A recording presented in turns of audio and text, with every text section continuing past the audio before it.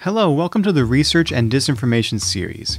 These videos were made possible by a partnership between the library and the Rhetoric Department at the University of Iowa. My name is Chris Way, and all my work on the series has been in collaboration with Tim Arnold and Katie Hassman.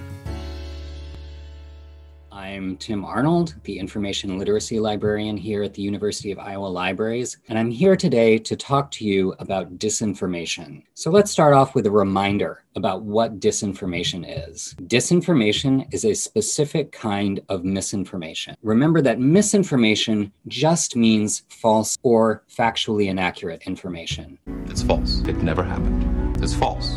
Disinformation is deliberate misinformation. It's a made up tale. It's a total fabrication. The person or group who are spreading the disinformation knows they are lying. They know that the information is false. Misinformation could, for example, be the result of a mistake, but disinformation is never a mistake. In order to give you a better idea of what disinformation looks like, I'd like to use a historical example. This is a very famous photo of Joseph Stalin. You've probably heard of him before. He was the leader of the Soviet Union for much of the middle of the 20th century. Now, Stalin was a dictator. He was an authoritarian who tried to get absolute power and control over the entire population of the Soviet Union, which at the time was an absolutely vast land area with an enormous population. It was much bigger than the contemporary country of Russia, which is still the largest country in the world by land area today. So, one of the ways Stalin tried to assert control over this vast territory in the 1930s was through an operation that is now called the Great Purge or the Great Terror. During this time, Stalin purged many people from the Soviet Communist Party by either having them killed or sending them far away to work in labor camps in a very remote region of the Soviet Union called Siberia. He did this through a network of secret police, and Stalin is pictured here with the director of his secret police, Nikolai Yezhov. Now, at some point, Yezhov fell out of favor with Stalin, and Stalin had him executed. Stalin then had Yezhov removed from any mention in all official documents, and even had him removed from photographs. This is the official Soviet version of this famous photograph after Yezhov's execution. So we call this second photo disinformation because it is a deliberate misrepresentation of the original photo. It's something we call a manipulated image. Stalin used many different kinds of disinformation to essentially control reality, to create a reality in which he was the only person in the Soviet Union who had absolute power.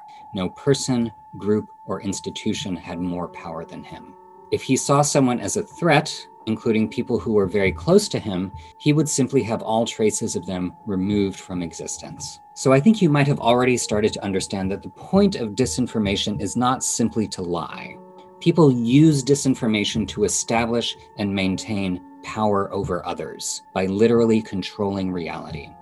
Now, I'm going to share a quote with you from Masha Gessen, who grew up in the Soviet Union and emigrated to the United States. Now a journalist, Gessen writes for the New Yorker magazine and teaches at Amherst College. I should note that they are using the word propaganda here to refer to a particular kind of political disinformation. And they say here that propaganda takes away your ability to perceive reality. And it does so by controlling people's perceptions of facts.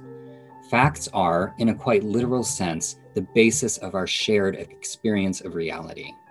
So whoever controls the facts controls reality. So disinformation has been used throughout history and in many different places to one degree or another, but we need to be very clear that disinformation is an enormous problem in the United States right now. You are probably already aware of this. But if you remain unconvinced, I would suggest that you read this very important study published in the peer reviewed journal Science. We'll talk in a later video about what it means for a publication to be peer reviewed and why peer reviewed publications are generally the most accurate and trustworthy publications. So, the researchers who published this peer reviewed study, called The Spread of True and False News Online, studied Twitter data between the years 2006 and 2017. So, 11 years of data. They looked at 200,000 individual news stories on Twitter, So, not just 200,000 individual tweets, but 200,000 news stories that had been tweeted and retweeted by many Twitter users. So, this is an absolute bedrock of evidence. And what the researchers found is that disinformation spreads faster and to more people than real information. So, more people are seeing and spreading disinformation than real information on Twitter. So, right now in the United States, we have some people consuming a certain set of facts online, and then other people consuming a set or sets of misrepresented facts.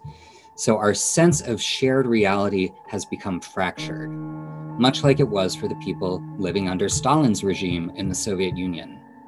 To get a better sense of what happens when reality becomes fractured and some people start believing disinformation, I'd like to turn to another historical example. So I'm going to share with you a very long quote from Hannah Arendt, but I think it's worth reading in its entirety. Hannah Arendt was an important 20th century political philosopher.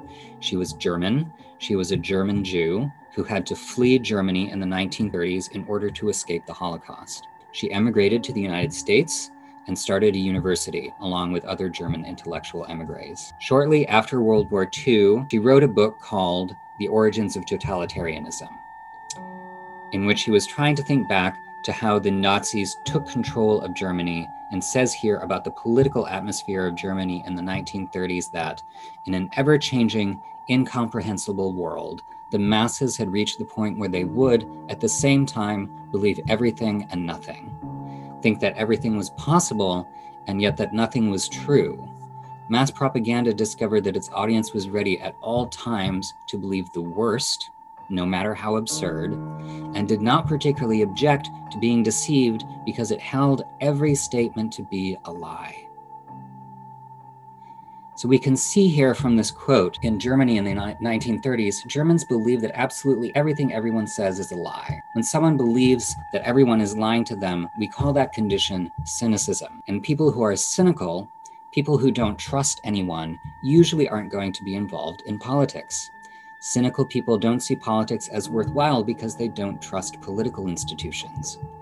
So, cynicism is another point of disinformation because cynicism disengages people from politics, which makes it easier for a dictator to achieve and maintain absolute power. Cynicism is especially harmful in a democracy. Germany was a democracy before Hitler came to power. Unlike Stalin, Hitler was actually elected by the German people.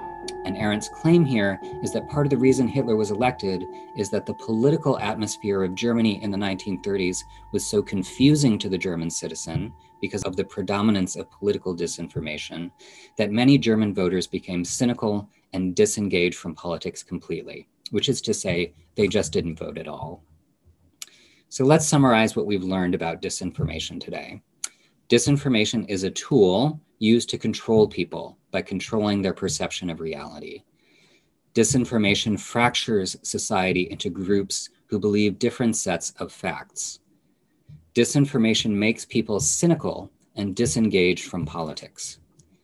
I hope at this point that you've started to see the very important differences between bias and disinformation. We, all of us, have opinions and biases that are based on those opinions but our biases don't necessarily lead us to lie.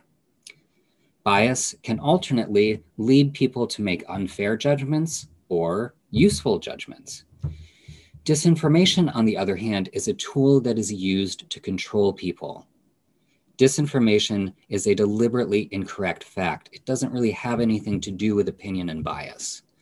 Finally, disinformation is only ever useful to the person, group, or institution that originates the lie. Because it can, it doesn't always, but if it's successful, disinformation can make them more powerful to the point of having absolute power, having total control over, for example, an entire country.